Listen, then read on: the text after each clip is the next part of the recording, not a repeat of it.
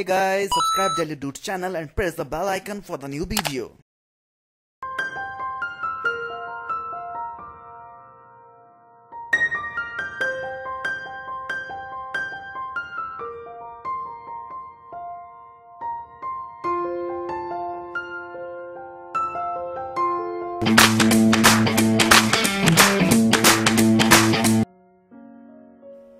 Hello guys welcome to daily dudes और आज मैं बात करने वाला हूँ नेस्टेरियम के बारे में, जो ये फ्लावर्स होते हैं, काफ़ी सुंदर लगते हैं हैंगिंग्स में लगा लीजिए या फिर आप इसे ज़मीन पे भी लगाते हैं तो काफ़ी सुंदर लगते हैं।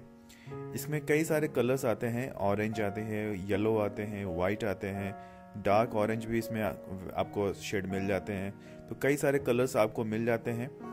इसके जो लिप्स होते हैं जो पत्ते हैं वो काफ़ी सुंदर लगते हैं। वो अपने आप में एक शो प्लांट लगते हैं। अगर इसमें फूल ना भी आए तब भी इसके जो पत्ते हैं वो काफ़ी सुंदर लगते हैं।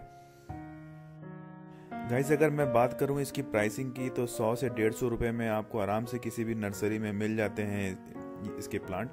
और अगर मैं बात करूँ अगर ये आप इसे हैंगिंग पॉट्स वगैरह में लेते हैं तो इसकी कॉस्टिंग लगभग दो सौ रुपये के आसपास हो, जाती है। और अगर मैं बात करूँ इसको केयर करने की, इसकी केयर की बात करूँ तो बहुत ही आसान है इसका केयर करना। और क्योंकि जो इसकी जो इसकी मिट्टी है, इसे ज़्यादा रिच मिट्टी नहीं चाहिए। आप इसमें नॉर्मल मिट्टी खाद वगैरह में जो गोबर खाद होता है, वो आप अगर इसमें मिक्स करके डालते हैं तो इसके लिए काफ़ी होता है उतना। एक बार जब ये पौधा तैयार हो जाए, तब इसमें आप, इसमें फास्फोरस जो जिसमें खाद में होते हैं, वो आप अगर इसमें ऐड ऑन करते हैं तो उसमें फूल अच्छे आते हैं। और ये आराम से शेडी एरिया एरिया में भी ग्रो कर जाते हैं और जहाँ थोड़ा, थोड़ी सी, अगर थोड़ी सी धूप ज़्यादा आती है तो उसमें फ्लावरिंग थोड़ी सी अच्छी होती है। खाद में आप इसमें और भी कई सारी चीज़ें ऐड ऑन कर सकते हैं। अगर बोन मिल है तो आप बोन मिल भी इसमें डाल सकते हैं। पोटास रिलेटेड जो भी खाद खाद वगैरह होते हैं डीएपी होती है, ये सारी चीज़ें आप एक एक चम्मच इसमें ऐड ऑन कर सकते हैं, जिससे फ्लावरिंग आपकी थोड़ी सी अच्छी बेटर हो जाएगी।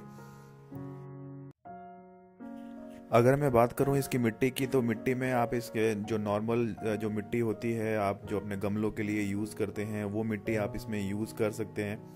गमले की मिट्टी ऐसे तैयार करें कि इसमें जो आप एक हिस्सा बजरी ले लीजिए एक हिस्सा मिट्टी ले लीजिए और थोड़ा बहुत खाद अगर इसमें मिक्स कर सकते हैं तो आप इसमें खाद मिक्स कर दीजिए।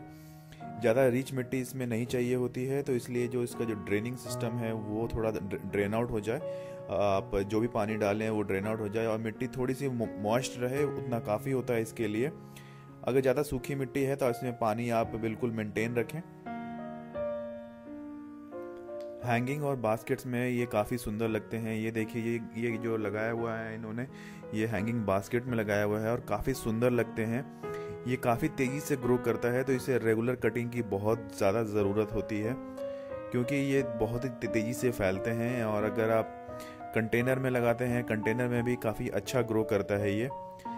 अगर आप ज़मीन पर लगाते हैं तो ये बिल्कुल फिल कर देता है। फ्लावरिंग इसकी बहुत ही अच्छी होती है और काफ़ी तेज़ी से ग्रो करता है तो इसके जो पत्ते हैं वो आ, बास्केट से नीचे की तरफ़ लटक जाते हैं और उसे आप कंटेन कटिंग कर करके आप इसे शेप भी दे सकते हैं जो बहुत ही सुंदर लगता है। तो रेगुलर कटिंग इसकी करना ज़रूरी होती है क्योंकि इसे एक पर्टिकुलर शेप अगर दे के रखते हैं तो काफ़ी अच्छा लगता है।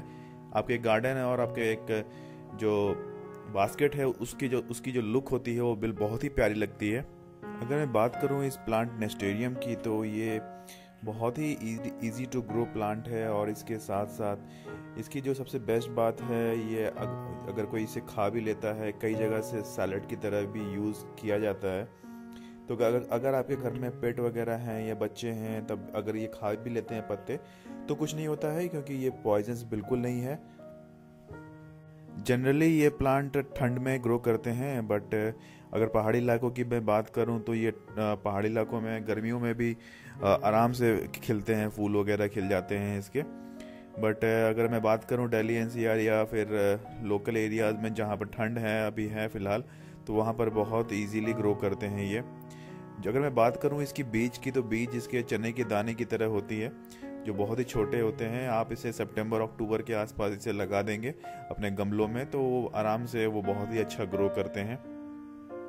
और बहुत तेज़ी से ग्रो करते हैं, इसलिए आपको ज़्यादा इसमें मेहनत करने की ज़रूरत नहीं होती है। गाइज़ आपको मेरा ये वीडियो अगर पसंद आया तो प्लीज़ इसे लाइक कीजिएगा शेयर कीजिएगा and please subscribe my channel मेरे लेटेस्ट वीडियो अपडेट्स के लिए प्लीज़ बेल आइकन को भी प्रेशर ज़रूर कर दीजिएगा। Thank you so much for watching this video